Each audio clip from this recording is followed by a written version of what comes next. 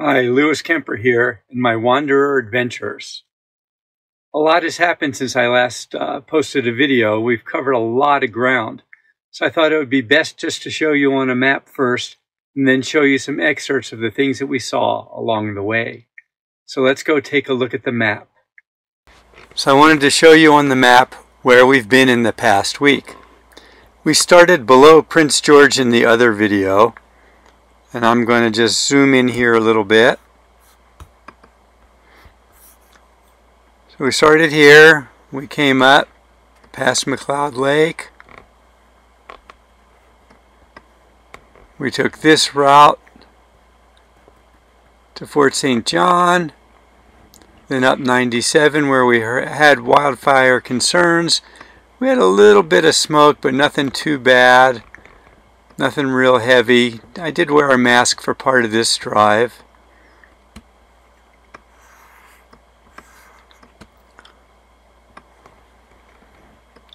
We went up to Fort Nelson, stocked up and got gas. And we went to about here where we were hoping to camp. We found a really wonderful spot.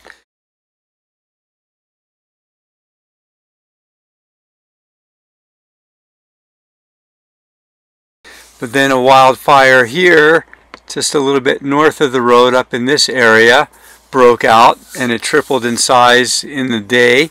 So we left there. Well, I'm totally bummed. We had a great campsite. We were hoping to spend two nights here. It was beautiful right by the river. We were watching a little fire that was nearby and the fire just tripled in size and went from under control to out of control. The smoke's supposed to come our way. So we decided to bug out, and I'm totally bummed because it was such a great place. Had the awning set up and everything. Was really hoping to uh, have a place that we could just settle down for a little bit. And now we've got to scramble and try to find somewhere else, and it's getting close to dinner time, and all our plans are screwed up. So I'm a little bit bummed about that, but at least we won't be here for the smoke and the fire. So I guess it could be worse. It was such a nice place. And drove a little further, probably to an area about here where we spent the night. Well, we got displaced from our wonderful campsite. We ended up somewhere pretty nice. This is where we're going to spend the night. It's just starting to rain. You can hear the thunder. The lightning's crashing overhead but we're far from the fire now. So I think we'll be good.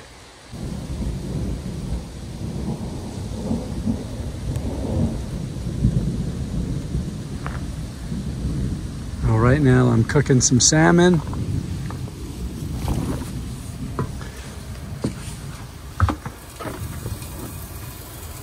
Waiting for the rains to start.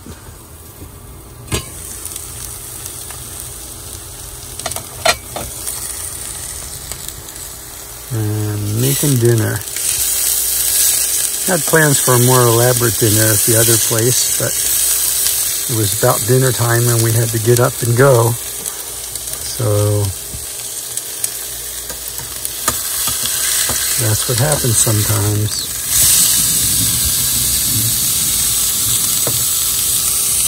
But we make do. So this is it. Life on the road. The rain's starting to get a little bit louder on the roof.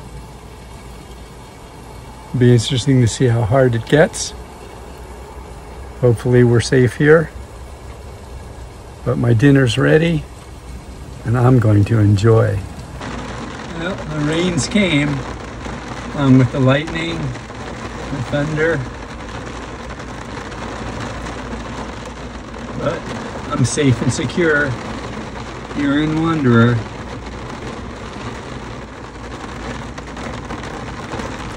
I'm to eat my dinner and ride out the storm. Then the next day we had what I would say was probably one of the best days ever. Going over Summit Pass and Summit Lake and up 97 and past Muncho Lake Provincial Park. And we saw lots of wildlife here. We saw a beautiful lake. It was quite wonderful.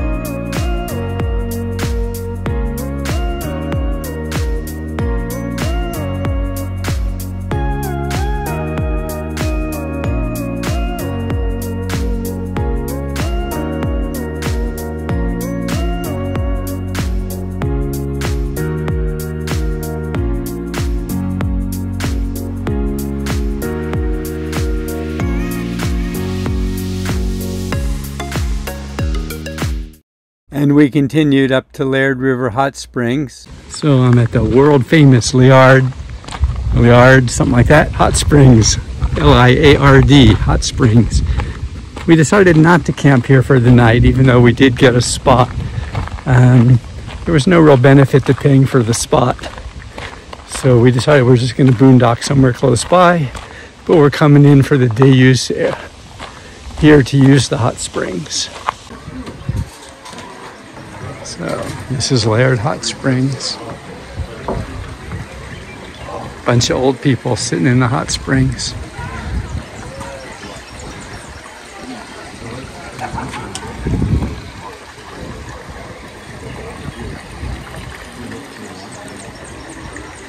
And certain areas are hotter than others, but I forget what they said.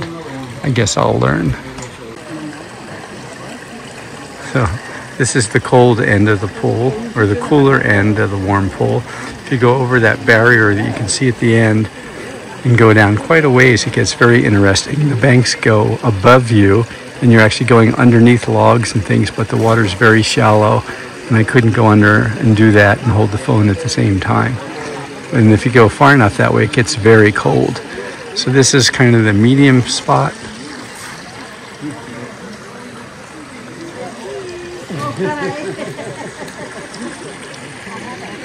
and way down there is the very hot spot. That's why nobody's there. Pretty cool spot though. So the hot springs were wonderful. There was lots of different temperatures. You could get any temperature you wanted and be comfortable from really hot to cold.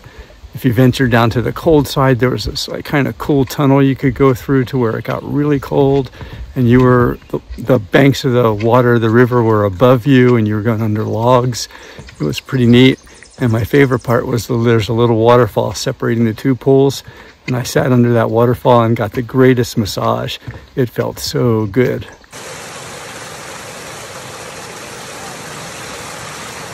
I highly recommend Liard Hot Springs. And we spent a night here and went to the hot springs twice and that was a really wonderful experience. And from here I'm going to scroll the map a little bit.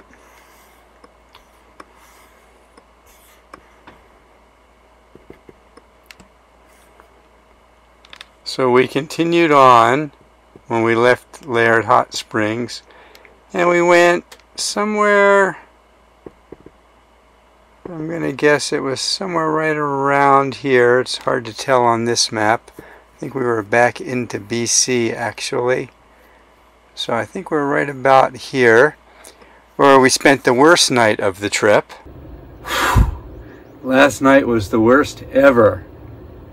I don't even know how to describe it. I turned off the lights around 11, 11.30 and all of a sudden I could hear all this buzzing sound inside the van. I turned my lights back on and there were at least 60 mosquitoes inside the van. I have no idea how they got in here. All the windows are sealed, the doors are closed. I have no idea. But I spent from 11.30 to about 2 o'clock in the morning killing mosquitoes. There's mosquitoes smashed all over the walls of the van. There's mosquitoes dead carcasses laying on the floor. There's mosquitoes in my sink. Uh, there's dead mosquitoes everywhere.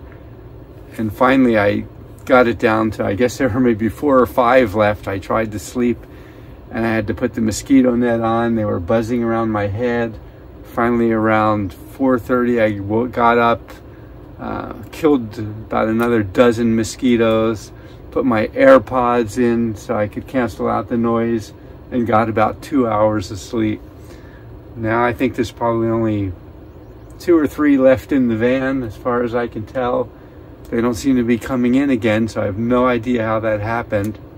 And I just radioed over to Brenda and Jed, and they had the same experience in their van. So it's not like there was something weird going on here just in my van uh, with my windows or something. I just, I have no idea how they all got in. And Jed and Brenda said they would, you know, kill 10 and a couple hours, you know, turn off the lights and then there'd be 10 more. But when I turned my lights on, all 60 of them were in here at once. It was just incredible. Uh, I hope I never experience anything like that again. Ugh. The next day, we went through Watson Lake to the signpost forest.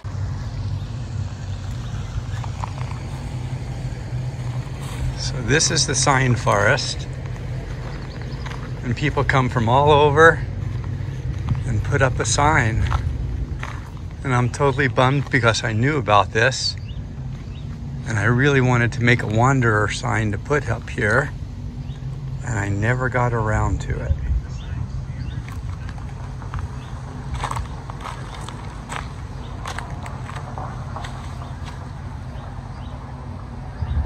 But it's a sight to see, that's for sure.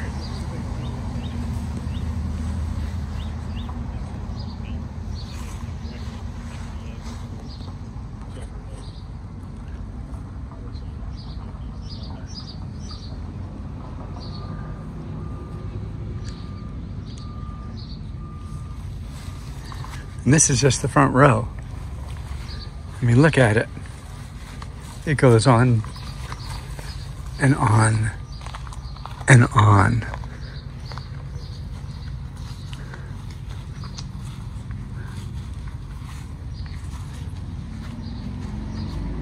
So, if you're ever passing by this way, be more prepared than I was. Make yourself a sign, bring a hammer and a nail and add your sign to the forest. That is, if you can find a place to put one. I haven't seen a blank place yet.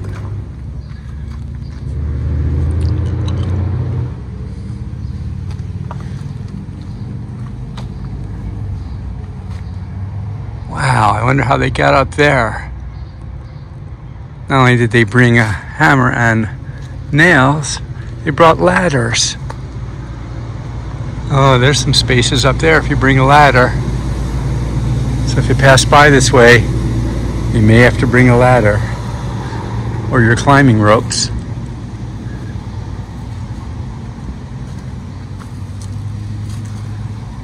But this is really something to see.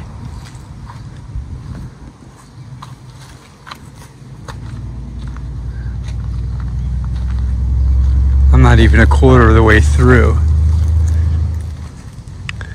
just keeps going and going.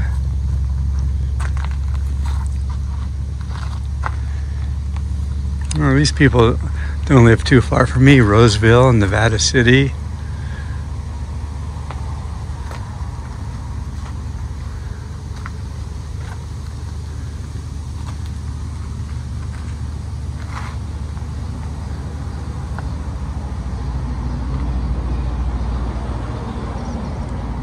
Pretty cool. Well, I'm not going to show you the whole thing because we'll probably be here an hour just looking at signs. But you get the gist of it. It's pretty special, pretty amazing place. I'm really glad I stopped here. Then we continued on one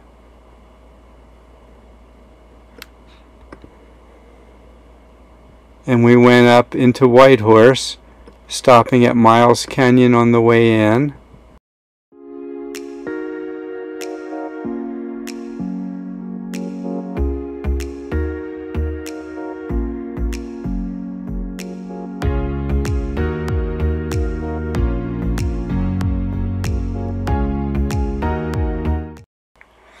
In Whitehorse we did a fair amount of shopping and uh, getting gas, those kinds of things. And then when we left Whitehorse, we went north on 2 and spent two nights at Fox Lake.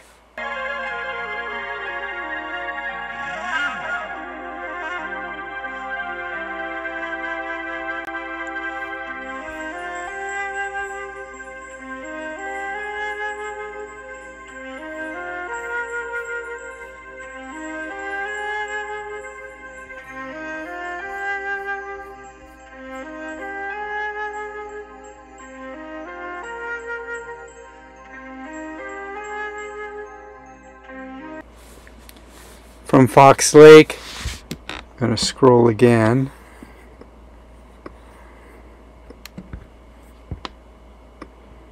We went up to Carmacks and we spent the night on this gravel road here.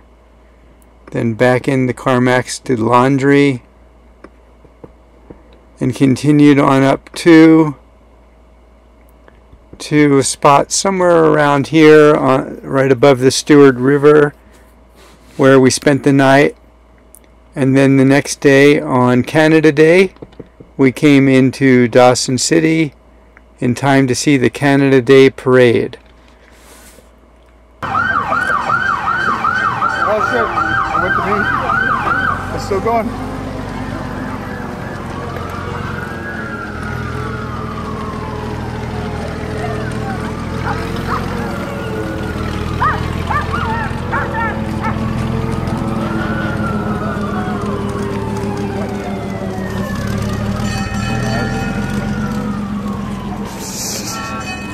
From Dawson City, we spent the night, oh, somewhere probably about here.